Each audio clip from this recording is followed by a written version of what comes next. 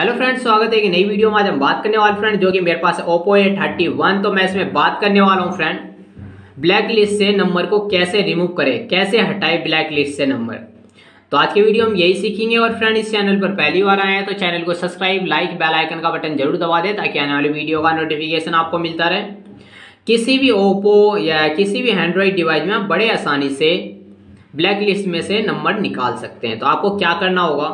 आपको सबसे पहले डायल पैड को आपको ओपन कर लेना है, ठीक है फ्रेंड डायल पैड को आपको ओपन करने के बाद आपको इस तरह से इंटरफेस देखने को मिलेगा। यहाँ पे जैसे कि देख सकते हैं आपने नंबर कोई भी ब्लैक लिस्ट में डाला है, मगर आपको यहाँ पे दिख नहीं रहा है तो आप कैसे निकालेंगे? आपको तो पता ही नहीं है ब्लैक लिस्ट में नंबर कौन सा डाला हुआ है, कौन सा नहीं डाला हुआ है, यहाँ से तो कोई निकल ही नहीं सकता।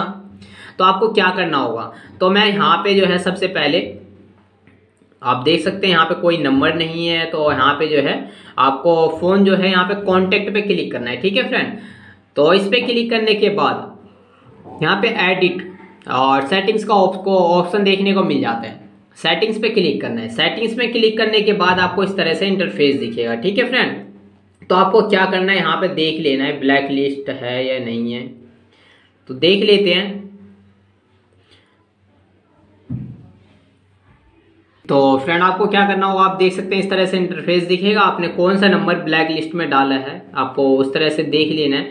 और मैंने तो फ्रेंड कोई एक, मैंने ये वाला ब्लैक लिस्ट में डाला है। यहाँ पे देख सकते हैं एडिट का भी ऑप्शन आ रहा है। एडिट भी कर सकते हैं बट हमें आपको ब्लैक लिस्ट से नंबर निकालना है।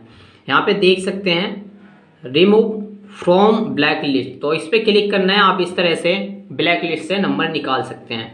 तो फ्रेंड आज की वीडियो आपने सीख लिया है ब्लैक लिस्ट से नंबर कैसे निकाला जाता है।